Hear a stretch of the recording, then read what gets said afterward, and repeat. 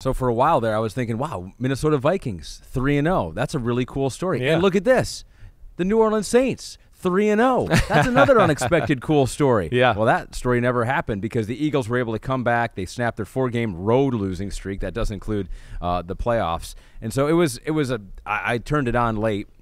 Yeah. back from Minneapolis, Right. and I saw it was Wasn't like what you expected. Oh, like game. seven six. Yeah. I was like, New Orleans Saints don't score less than forty. I don't know what's going on right here. Um, what'd you make of kind of the the flow of the game, Yeah. and then how the Eagles were able to? I, I to mean, it close was out? it was totally a defensive struggle, and I, I I think where I look at it too, and like defensive struggle in a game where the Saints at one point got down there in field goal range, went for it on fourth down. I'm going, we haven't drove the ball all game. Let's just take the six points. Uh, do that.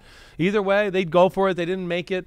Right, but it was it was it was defensive struggle. But I I think here would be my headline as far as just the the main thing. You know, I think still I still think highly of the New Orleans Saints. The offense obviously didn't get going. We know that today, and that's where I want to. My main headline with them would be: Take a deep breath, Eagles fans. The Eagles.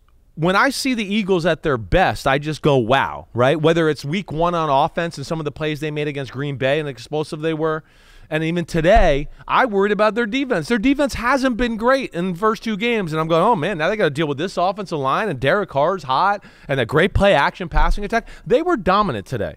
They were dominant up front. The D line was phenomenal. So I think that's the first thing. The potential of the Eagles to me blows me out of the water. Have they put it together for four games on both I mean four quarters with both sides of the ball yet? No, but you see little tidbits to go, "Wow, this is like five series in a row. The defense looks amazing." And though even though the offense struggled, once it gets going, you just go, "Wow, you know, there's such big time potential, not only because of the O line. Hurts is damn good. We know A.J. Brown's not even playing. They had O lineman hurt today. Saquon is a superstar, as we know, but it's going to even more than what everybody's going to know because you're going to see with now he's got space, he's going to be unstoppable that way. So even though it was 15 12, right, backs against the wall, wasn't perfect, wasn't pretty. And Jalen Hurts is definitely turning the ball over too much right now.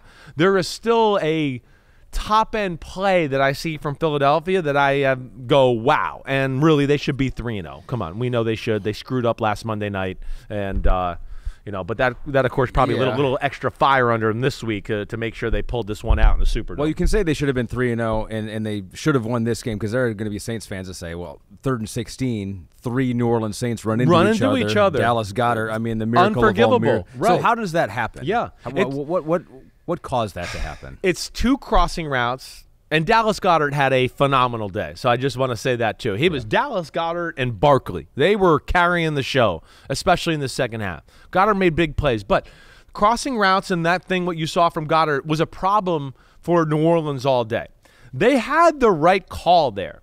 Now, it was two little short crossers. I don't know if they wanted to pass it off, Ahmed, and go, wait, you know, wait for this crosser, you wait for it, or you stay with it. But the other part of it is they had the safety cutting across who was going to help on Goedert. And they all ran into each other. Like you said, Moe, Larry, and Curly looking ridiculous out there. And that ended up Goedert with a big play down the sidelines. And that was a big moment of the football game overall. But, I mean, an amazing game in general. It really was. I mean, for a low scoring, not a lot of points being being had out there. Philadelphia was the better team on the field. I'll say that. They moved the ball more consistently throughout the day. Um, but but then again found themselves down late in the game and answered the bell and, and Saquon Barkley of course was was amazing and, and squashing the Saints hopes and coming back. So Dallas Goedert, those 170 yards receiving, uh, career high 117 of those were after the catch, Yeah. including 53 above expected. So next gen stats would be like, we didn't expect that. Yeah. good job, Dallas Goedert. Uh, he's he's one of the better tight ends in football that probably doesn't get you know, those not the first names out of your mouth, Definitely right? not, it's yeah. not the first names, but it should be the second few names that come out of your mouth. He's not a great run blocker. That's not his forte. But in the pass game, as you can see, he can run. He's rangy. He's long. He adjusts to the ball. He's perfect for what they want in their offense. And yeah, the game. I mean, it had a little of everything too. Yeah. The other thing is like, you know, uh, the, the the when the Eagles turned it over, Hurts throws an interception. He had a bad fumble. The defense held up. They let up no points with those short fields there. So that was big, right? One of them was down in the end zone, which was a bad interception by Jalen Hurts. There, you know, I do think there were some curious coaching calls. Again, I'll say, you know me, I'm not into the fourth, fourth and one stuff. And, and especially in not games necessarily when it's like it's a field goal game. What are we doing here? The Eagles definitely had some fourth downs where, yeah, they could have kicked a field goal. They went for it right before half. That wasn't good. Um, uh, the Eagles did it again in the third quarter. Had a good drive. They're in field goal range. They go for it. You know, uh, they're a little. I guess is what I would say. And this goes back to Monday night. And I said this a little bit uh, obnoxiously cocky at times, mm-hmm. which isn't a bad thing always in football. But I think when you, like I said last week, when you go for the haymaker all the time, sometimes you get punched back in the mouth, and all of a sudden you're on the canvas, right? And that's just what I worry about them a little. I don't think they need to take some of the chances they take. I guess is what I'm saying. I think they're so good that if they just continue to play, that their greatness of their team and what they are will rise above the rest and they'll find ways to win games. They got dudes all over the field, even without AJ Brown out there. One more thing we'll show you: it was Saquon Barkley still got the speed. He got those oh injuries back in the day, but he still got the speed. Uh, next gen stats with his top speed on that 65 yard run was 21.66 miles per hour. That is the second fastest play by a ball carrier this season and fastest on a run play. He was pulling away from the from the DBs. There. Uh, he is he is still one of the most yeah good at football and one of the most explosive players in football and one of the most fun to watch in space. And he is hitting the hole this year.